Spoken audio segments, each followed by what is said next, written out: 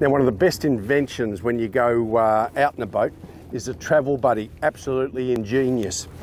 Uh, all you need to do is plug it into a cigarette lighter, which, we, which we've got in the boat. And if you're going to stop the boat, then I carry like a battery pack from iTech World.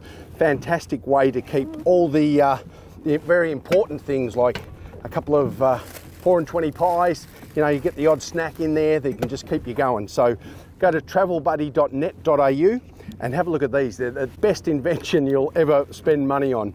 And the same with iTech World. Go to uh, their website as well. They've got loads of features to keep everything you want running and uh, make your day much more fun.